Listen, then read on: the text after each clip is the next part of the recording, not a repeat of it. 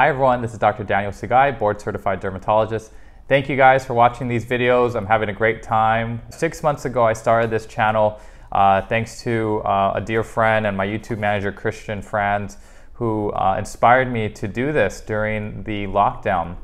I did this in April when I was barely working and I really cut down clinic to um, you know, in, in an effort to bring down the curve. And so uh, I really missed my patients, and it's really neat looking back that six months ago I was just talking about sunscreen and my first video on um, the my favorite moisturizers, moisturizers I can't live without. Um, thank you for the support on that first uh, short video.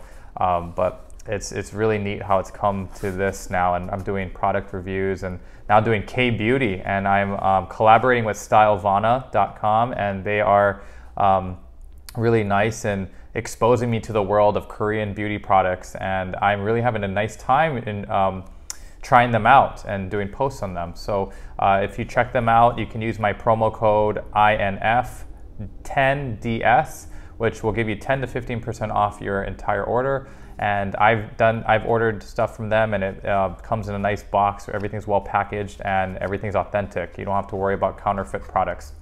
Uh, today I'm going to do a product that you all uh, had suggested, so thank you for the suggestion. Uh, it's Purito Centella. This is the unscented version. I know there's another version out there that has lavender oil and other essential oils. This one is essential oil free, no fragrance, and it is SPF 50 and PA rating of 4 plus, a PA rating of 4 plus. PA rating we'll talk about really quickly, uh, but not go too much into detail. Uh, this is about $14, $15, I believe, on uh, StyleVana or on other websites. Uh, Centella asiatica is the, uh, the trademark ingredient in this that has, is an herbal botanical ingredient that has many properties, including uh, improvement in wound healing.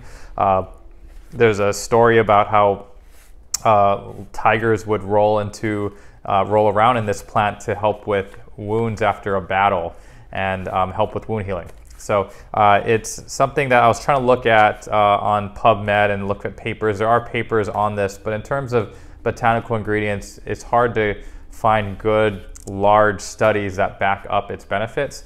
Um, for any organic, natural ingredient, I always caution patients that there are not all the same, and not everyone will respond the same to those ingredients. Poison ivy is all natural and organic, and that does a horrible allergic contact dermatitis.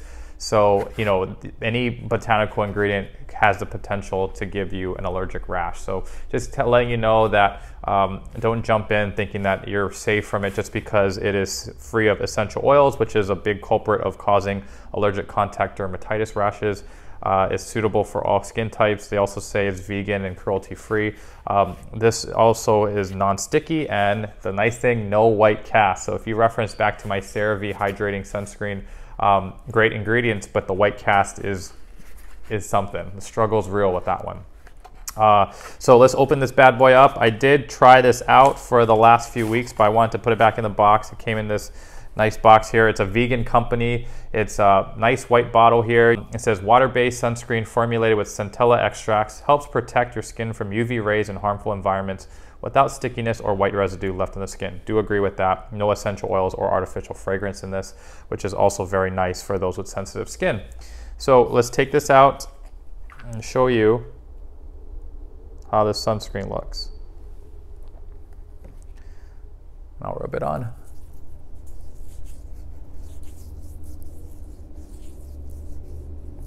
And I also have used this sunscreen for the last several weeks as the weather has changed. It's gotten really dark and gloomy all of a sudden in Seattle, which is to be expected, but it was a flip of a switch.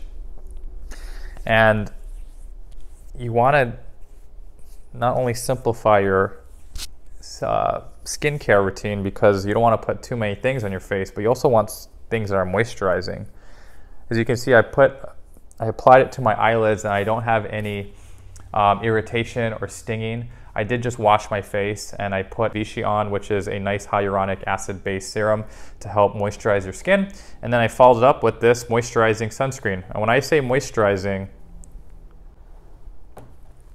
I want to go through the ingredients to tell you why it's moisturizing. So as you can see here, it's rubbing in very well. Um, no white cast. I didn't have to work very hard to rub this in. And that's another nice thing about this. It goes on very well, very lightweight. This is a chemical-based sunscreen. I know this is the first uh, product review I've talked about a chemical-based sunscreen. Usually I'm talking about only my favorite mineral-based sunscreens with zinc oxide or titanium dioxide, but I'm gonna branch off and talk about um, not only K-Beauty, but also a chemical-based sunscreen. This uh, sunscreen has uh, two ingredients that are UV filters. It is broad spectrum, so it blocks both UVA and UVB. The UVA filter is diethyl hydroxybenzoyl hexylbenzoate, which is Uvinul A+. that's the other trade name for it. And that is a UVA filter. I was trying to see, I'm not very familiar with this uh, chemical sunscreen because it's not one of those classic US uh, approved ingredients, but this UVA filter may have UVA 1 coverage. I was trying to find some reputable sources to, to um, reference, um, but zinc oxide being the gold standard in terms of being a mineral uh, sunscreen ingredient, but also covers UVA 1 and 2 very well. This one um, is just the, uh, this uh, A plus is the sole UVA filter in here. And um, that's why you see here the PA 4 plus score. This is a score originally from the Japanese skincare um, system where um, they would look at the persistent pigment darkening scale and they would rate it based on how much UVA they have to shine on skin to have it darken or tan. Everyone's very different, so it's not a very reliable scale. But the um, number here can range from PA 1 plus to 3 plus a lot of times in uh, a lot of skincare, but there are some uh, countries that do accept the scale of doing max 4 plus. So this is the max amount of UVA coverage you can get in sunscreen.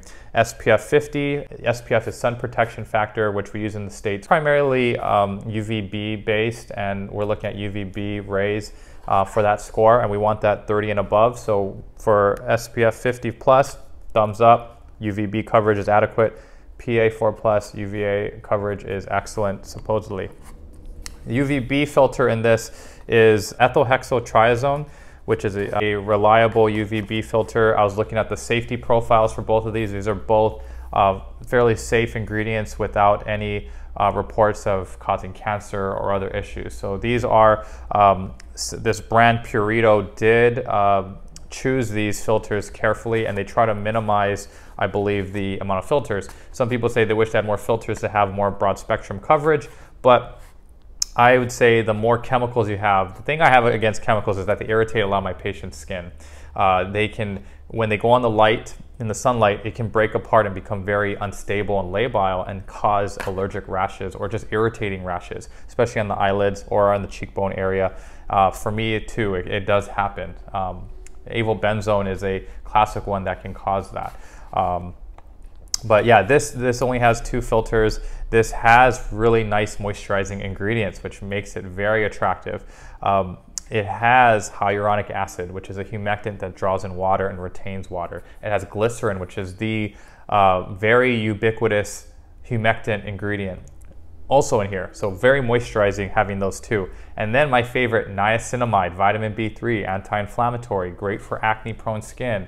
Uh, so you're covering people who have oily skin, who break out or have really sensitive rosacea skin with some acne with it, acne rosacea, this has niacinamide, which will help calm that inflammation down. So those, this is just stacked with great ingredients. Impressive. Love the ingredient list here. For now, this has not caused any irritation on my skin. There was a day when I had some, um, I did use this after a chemical peel and my skin was a little raw. And I did put this on. It did have a, a tiny sting to it.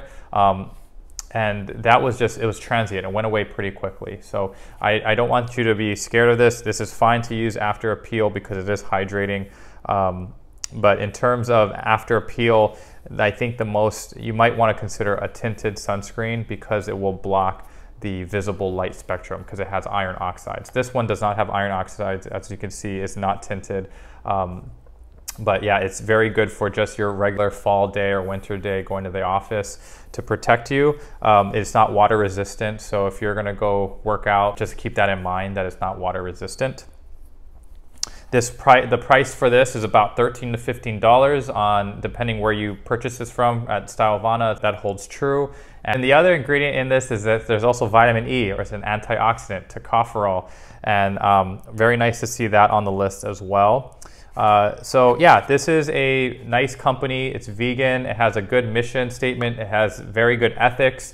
It donates a lot of its proceeds to charities. For those of you who like to support companies that are using nice natural ingredients, vegan, cruelty free, this is the company for you and it has really nice ingredients. It does this, um, make sure that you do get the unscented version uh, because the other one has essential oils, which I hear has a very strong lavender flavor or very strong lavender smell to it. And um, I would say this is a nice, very nice solid option. I'm gonna rate this a four and a half shakas out of five or a rating of a nine out of 10. This is gonna be dinged because, well, I am biased because I love mineral sunscreens. Chemical sunscreens I try to avoid as much as possible, but I'm really enjoying this one that is using chemical ingredients that so far have shown to be safe, um, very safe for us. And um, I did ding it a little bit because it does have, it did have a little bit of a sting at one point for me after a run, but no big deal. I'm not going to ding it because I did, I did just have a TCA peel, which was pretty intense.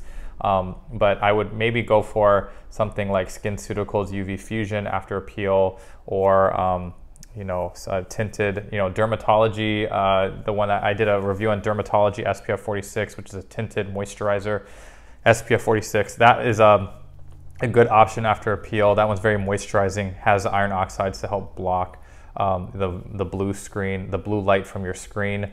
Uh, so I would maybe consider those for a uh, post peel. This is more for your just normal day at the office. So, you know, again, no perfect sunscreen out there. I have to really say a thumbs up for the price. I forgot to mention this is 60 uh, milliliters, it says on the um, on the box, that comes out to two fluid ounces. So when we do review these other sunscreens that are like $36, say La Roche-Posay Anthelios 50, purely mineral sunscreen with antioxidants as well, this one has the antioxidants, but and has a little bit more sunscreen, not much more, but a little bit more, but it's also a fraction of the price, a third of the price, which is amazing. Very affordable option. So I will probably buy this again. Um, and thanks guys for uh, the suggestion to review this. I'm gonna talk more about Stylevana products as well soon and um, show you my stash that I got. All right guys, so uh, have a nice fall season. This is my favorite uh, time of the year and continue to watch me dance on Instagram and TikTok and um, stay tuned for uh, another sunscreen review. I'll be looking at Krave Beauty products, including their Beat Screen. All right, take care guys. Be well. Peace.